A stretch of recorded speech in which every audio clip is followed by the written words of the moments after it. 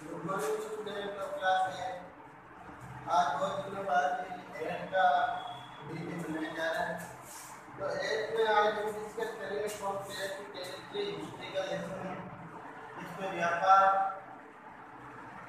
कैसे व्यापार करने के उद्देश्य से अंग्रेज़ आए और व्यापार के उद्देश्य से उनका उद्देश्य बदल के भारत का शासन करना उन्होंने शुरू कर दिया। इसके बारे में हम डिस्कस करेंगे। तो आप एक पहले पुराने क्लास में पता होगा कि जो एनिशियन टाइप प्राचीन काल से भारत एक इम्पोर्टेंट ट्रेडिंग सेंटर रहा व्यापार व्यापारिक देश रहा जो व्यापारी थे वो यूरोप, एशिया के जो व्यापारी थे, वो इंडिया आते थे व्यापार करने के उद्देश्य और इनसे व्यापार करने में उनको फ़ायदा भी बहुत ज़्यादा होता था। इसलिए वो ऐसे व्यापारी को भारत में आने से रोका भी नहीं जाता था क्योंकि उनको प्रॉफिट होता था इसलिए उनको रोके भी नहीं थे 1498 में जो वास्को डिगामा थे, उन्होंने यूरोप से इंडिया आने के लिए सी रूट बनाया था। और वो सी रूट से फिर बड़े बड़े जहाज़ लेकर विदेशी उसी रूट से आना उन्होंने शुरू कर दिया, व्यापार करने की वजह से जिससे इंडो, यूरोपियन जो व्यापार है, उसमें बढ़ोतरी हो गई फिर उन्होंने पुर्तगाली, जो लोग थे उन्होंने गोवा पर एक ट्रेडिंग सेंटर बना लिया। जहाँ पर वो व्यापार किया करते दमन दीव में और बॉम्बे में। गोवा दमन दीव और बॉम्बे में उन्होंने व्यापारिक स्टेशन स्थापित कर दिए पुर्तगाली जो लोग थे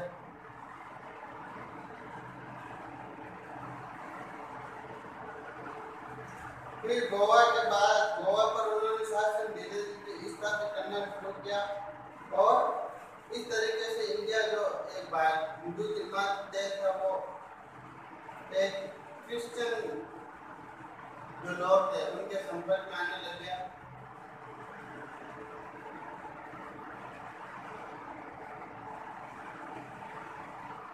गोवा एक पुर्तगाली देश था एरिया था पहले 1961 में फिर भारत उसको पुर्तगाली से पुर्तगाली जो थे उनसे आज़ाद करवा के अपना हिस्सा बनाया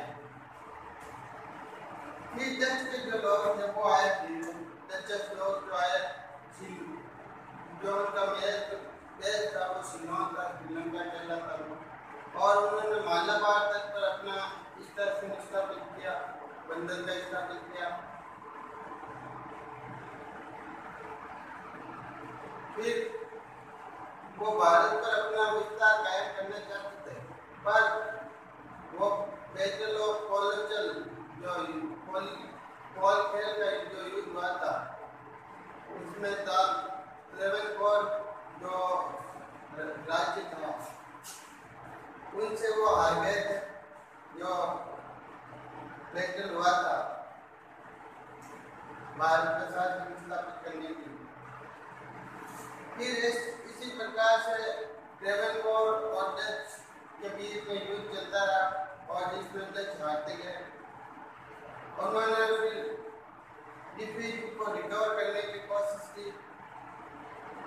और इंडिया में एक बहुत ही बड़ा मतलब अपने स्तर पर राज्य स्थापित किया जो आस पास के एरिया पर अपना शासन स्थापित कर लिया।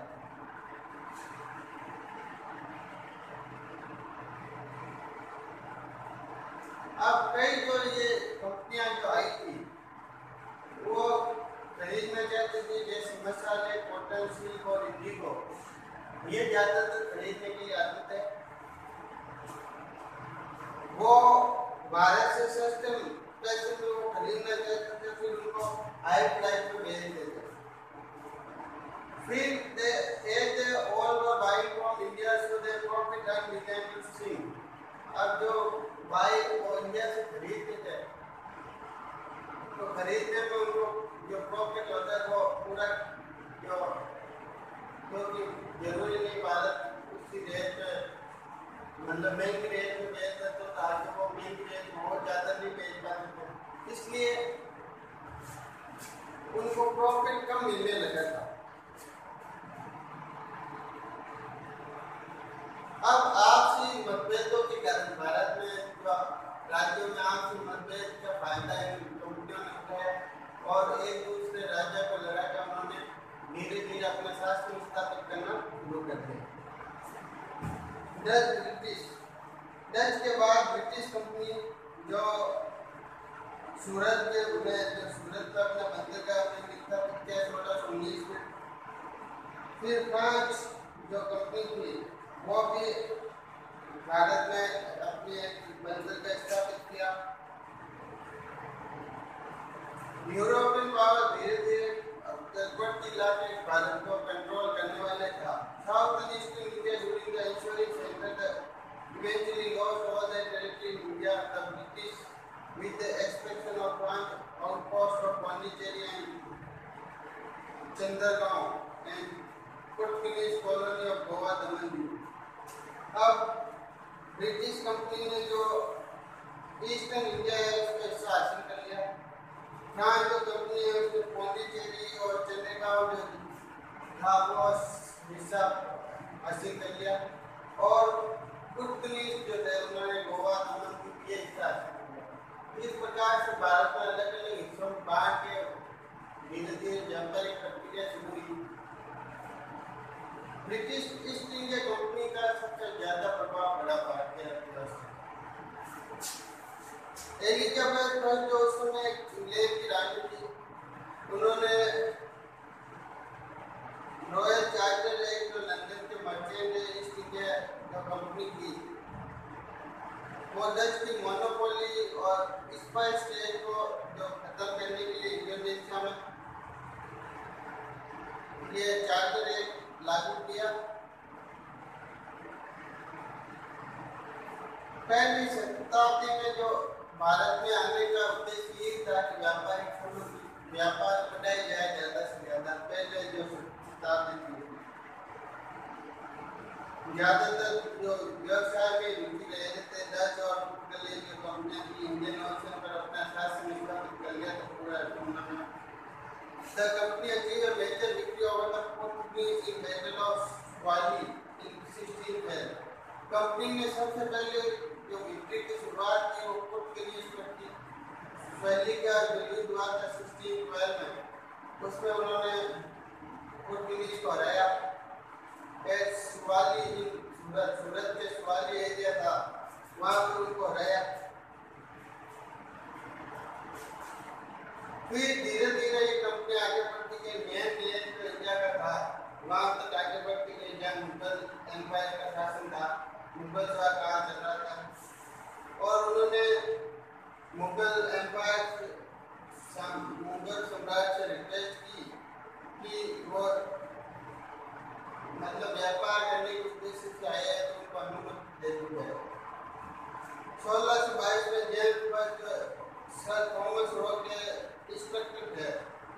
मुगल एम्पर नूरुद्दीन सलीम जहांगीर जो सोलह सौ पाँच से सोलह सत्ताईस तक आए और उन्होंने कंपनी को व्यापार करने के अधिकार रखा और सूरत में फैक्ट्री खोलने की अनुमति मांगी और रिटर्न में वो मतलब राजा को रिटर्न में क्या देंगे? रिटर्न में उन्होंने कहा कि हम आपको जो भी टैक्स वगैरह है वो देते रहेंगे। इसके अलावा जो भी माल प्रोड्यूस होगा वो यूरोपियन मार्केट में जो जाएगा और उसका जो कमीशन है, वो आपको मिलता रहेगा। अब सक्सेसफुल भी हो गया ये मिशन जहांगीर ने सर थॉमस रो को एक लेटर भेजा, जिसमें उन्होंने अनुमति दे दी।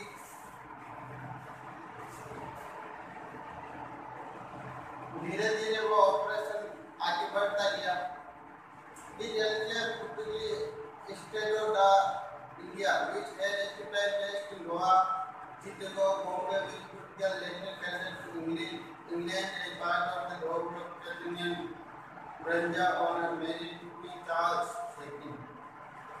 धीरे धीरे वो अपनी शासन कंपनी का शासन स्थापित करते गए एक सदी लगभग सौ साल तक वो व्यापार करते रहे अच्छी तरीके से और व्यवस्थित ढंग से वो चलाते रहे।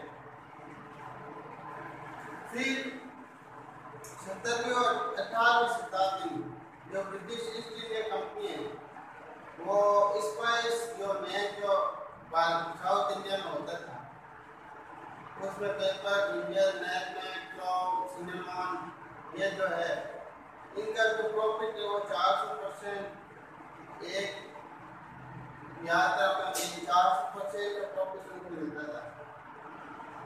अब कंपनियों में आपस में प्रतिद्वंदिता थी। आपस में वो कंपनियाँ मतलब व्यापार कर रही थी तो बहुत मतलब प्रतिद्वंदिता बहुत ज़्यादा थी। Dutch east India company Anglo Dutch war जो सोलह सौ बावन चौपन पैंसठ, सड़सठ, बहत्तर, चौहत्तर, अस्सी और थी। इनमें एंग्लो डच युद्ध हुआ, जिसमें जो ब्रिटिश ईस्ट इंडिया कंपनी है, वो भारी खड़ी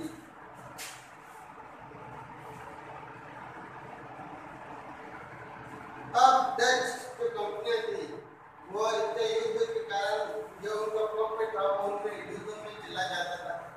तो वो ज़्यादा प्रॉफिट नहीं वहाँ पे जितना भी प्रॉफिट था, वो युद्ध में चला गया। सोलह सौ पैंतीस में चार्ल्स ये थे सर विलियम्स बर्टन उन्होंने परमिशन दे दी ताकि ट्रेडिंग लाइसेंस दे दिया उनको। और व्यापार करना शुरू किया। उनका जो मुख्य उद्देश्य ये था कि आई ई आई सी जो तीन चार सेकंड है। वो व्यापार ज़्यादा से ज़्यादा बढ़ाने की अनुमति उन्होंने कक्षा भी बनाना शुरू कर दिया, यानी अपने सिक्के निकालना भी उन्होंने शुरू कर दिया।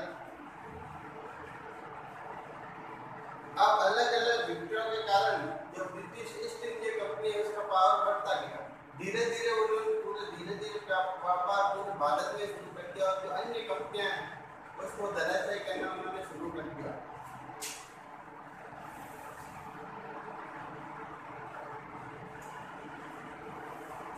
बंगाल में जो व्यापार की उन्होंने शुरुआत की उसी से में जो शासन की शुरुआत मानी जाती है बक्सर और प्लासी का जो युद्ध हुआ। उस बक्सर और प्लासी के युद्ध से जो अंग्रेज़ों के शासन की बात की शुरुआत मानी जाती है कि ब्रिटिश ईस्ट इंडिया कंपनी ने शासन की शुरुआत बक्सर और प्लासी के युद्ध से शुरू कर दी। जो कंपनी का शासन 1857 जो अठारह सौ सत्तावन की क्रांति हुई। उसके बाद बाद से खत्म हुआ। पहले कंपनी शासन करता था जो भी कंपनी प्रॉफिट प्राप्त करती थी, वो इंग्लैंड रहती थी और भारत को इसका कोई फ़ायदा नहीं मिल पाता था भारत के जो व्यापार थे, उनकी स्थिति बहुत ही खराब होती थी। इस सिचुएशन में अब क्या किया जाए? और ईस्ट इंडिया कंपनी ने जैसे बंगाल में बंगाल में उन्होंने पहली फैक्ट्री जो हुगली रिवर है उसके ऊपर स्थापित की सोलह सौ इक्यानवे और ये जो मुख्य बेस था कंपनी का जो ट्रेडिंग फैक्ट्री थी उसका। उन्होंने ऑपरेट जो फैक्ट्री ऑपरेट की वहाँ पर वो मुख्य बेस था उनका। वो पूरे वेयर हाउस की तरह कार्य करते थे कंपनी और जो भी वो मजदूर है, वो उस फैक्ट्री के आसपास ही रहा करते थे सिक्सटीन नाइन्टी सिक्स में के दो साल बाद मुगल ऑफिसर जो थे जमींदार उन्होंने जो कंपनी के साथ जो थे कंपनी लूट रही है ऐसा पता लगे उन्होंने कालीगढ़ बंदरगाह में जो कलकत्ता टेलर था अभी और कोलकाता भी आज जाना जाता अभी कोलकाता जाना जाता औरंगज़ेब उस समय उन्होंने ब्रह्मा ने जारी किया था।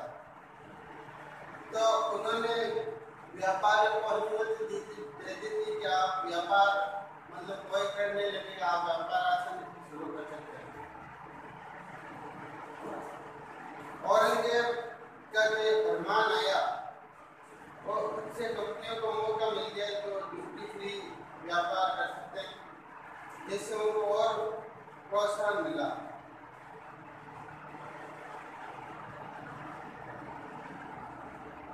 और जो प्राइवेट कंपनियाँ थी अन्य ब्रिटिश कंपनी को उन्होंने फरमान जारी कर दिया पर अन्य जो छोटी मोटी कंपनियाँ थी जो अपना व्यवसाय कर रही थी उनको ड्यूटी फ्री नहीं करता। तो उन, उन्होंने भी ये मना कर दिया बंगाल में कि हम पहले ही करेंगे ड्यूटी इससे जो बंगाल के नवाब है मुर्शी कुली खान, उन्होंने नवाब को हराकर मीर जाफ़र को one of the Sirajuddaulah commander never fought the battle tried and managed to secure his support by promising to make him Nawab after crushing Sirajuddaulah. Sirajuddaulah का जो मुख्य जो कमांडर था मीर जाफ़र उसको फोर्स किया और मुर्शी कुली खान जो विरोध कर रहे थे, उनको आप, अपने साथ मिला के उनको ये कहा कि सिराजुद्दौला को हराकर मैं तुम्हें शासन प्रोवाइड करूँगा प्लासी का जो युद्ध हुआ, वो कंपनी की जो मुख्य बिक्री थी, पहले को सामान्य कंपनियाँ आपस में लड़ा करती थी, पर पहले जो सबसे पहले प्लास्टिक का युद्ध हुआ, वो प्लास्टिक का युद्ध जो है, वो मुख्य युद्ध बना। कंपनी की शासन की शुरुआत की जो नींव रखी गई वो प्लास्टिक और बक्सर के युद्ध से रखी गई अब प्लास्टिक का युद्ध के बारे में डिस्कस हम कल के में करेंगे प्लास्टिक और बक्सर के युद्ध।